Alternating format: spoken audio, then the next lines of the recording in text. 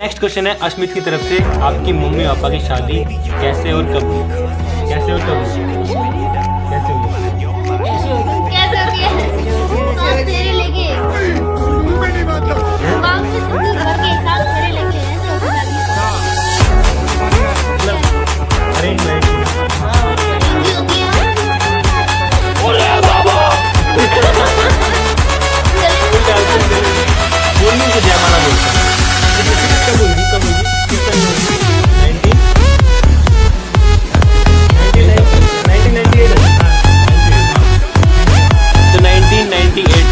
पापा की शादी हुई थी, वो शादी हुई थी, गाँव में हुई थी। जो आपने हमारे गाँव वाला घर देखा ना, वही मम्मी पापा की शादी हुई थी, अरेंज मैरिज थी। तो नॉर्मली आई शादी हुई थी, पापा जी मम्मी